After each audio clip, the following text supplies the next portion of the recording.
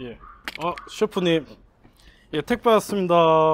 예 택배 왔습니다. 뭐야? 아 축하드립니다. 예. 15분 어. 왔어? 예. 야. 씨.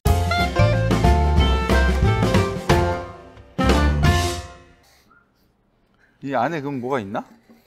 한번 까볼까? 예 가보시죠. 내가 까? 제가 까야죠. 예. 네가 까? 예, 예 제가 까야죠. 아, 네가 또 지분이 있다 이거야? 예, 저도 뭐 지분이 좀 있지 않겠습니까? 근데 내가 봤을 때는 예. 너는 출연은 많이 했는데 조회수가 안 나오더라고. 아, 예. 어? 지찬이가 한 번 출연에 그냥 10만. 야 예. 상처 난다고. 아, 예. 야 조심해. 예. 다시 안 보내줘. 유튜브 회사가 포장을 잘해?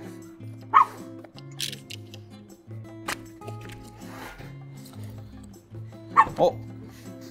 까만데? 어, 뭐 써있다. 어, 한글로 적혀있네요. 어. 자, 이거 한번 읽어봐봐. 아 예. 야 채널 구독자 수가 10만 명을 돌파했습니다. 유티, 유튜브 크리에이터 중 극소수만 달성한 엄청난 아, 기록입니다. 극소수. 아. 아.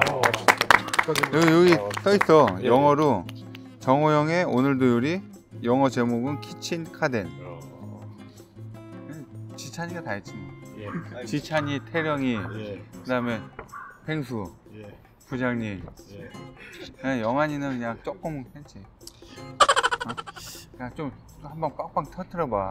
예. 그랬어. 예. 네가 평소 때 하던 대로만 하면 예. 진짜 10만 나온다 그냥 예. 기본. 예. 자, 100만 가자. 예, 축하드립니다. 어 어떡해. 100만. 감사합니다. 예. 예, 감사합니다. 열심히 하겠습니다. 예. 아.